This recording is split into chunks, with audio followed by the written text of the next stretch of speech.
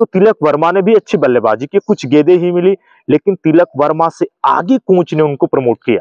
कप्तान ने कहा रिंकू तुझा खेल करा आपने कभी ये सोचा था कि जिस टीम में विराट ना हो रोहित ना हो जटेजा ना हो राहुल ना हो पंत ना हो बुमराह ना हो या फिर समी ना हो वो टीम कैसे चलेगी?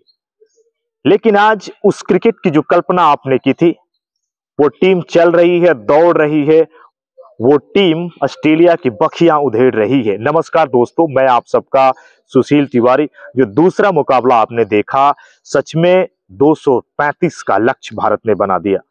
ऑस्ट्रेलिया के सामने बड़ा चैलेंज था, उसे जीतना, लेकिन वो जीत नहीं पाते।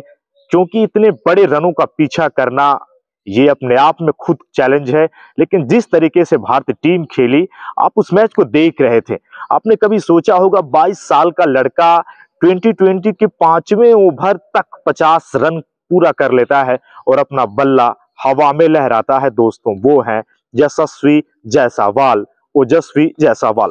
जिस तरीके से ओजस्वी ने पारी खेली, वो पार्टनरशिप थी ऋतुराज के साथ, उसके बाद जिस तरीके से उनके आउट होने के बाद भी ऐसा लगा नहीं कि टीम कोई प्रेशर में है, उसके बाद ईशान किशन आए और किशन ऐसा लग रहा है जितने समय से भारत टीम से वो जुड़े हुए हैं, उनकी बल्लेबाजी वो निडरता, बेखौफ अंदाज में उसने ऑस्ट्रेलिया की बखिया उधेड़ी ये वही टीम है, ये वही विश्व चैंपियन टीम है, जिन्होंने कुछ चंद हफ़्ते पहले हमको धूल चटाई थी, लेकिन ये नया भारत है, नए युवा हैं, ये किसी से डरते नहीं।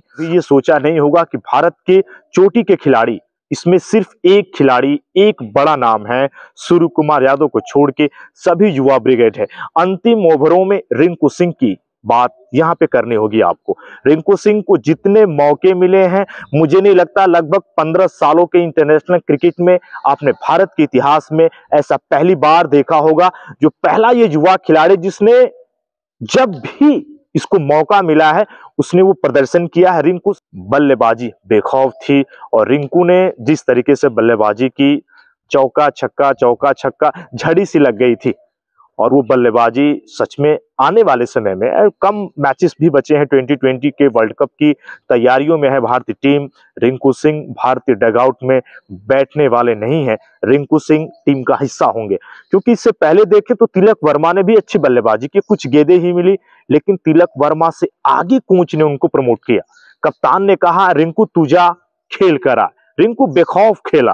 जिस तरीके से रिंकू ने बल्लेबाजी की तो ये बड़ा चैलेंज है रिंकू सिंह के लिए भी कि वो अगर लगातार परफॉर्मेंस नहीं देंगे तो भारतीय टीम में इतने पीछे बैकअप के तौर पे खिलाड़ी हैं कि वो आप के प्रदर्शन में जैसे ही गिरावट आती है वो आप अपने मौके का लाभ उठाते हैं, लेकिन रिंकू सिंह की बेहतरीन बल्लेबाजी, साथ में गेंदबाजी लाइनअप की बात करें तो आप रवि बिश्नोई को कभी भी जुटला नहीं सकते ये वही रवि बिश्नोई है क्योंकि विश्व कप के डगआउट का भी हिस्सा होने वाले थे, लेकिन मौका नहीं मिला।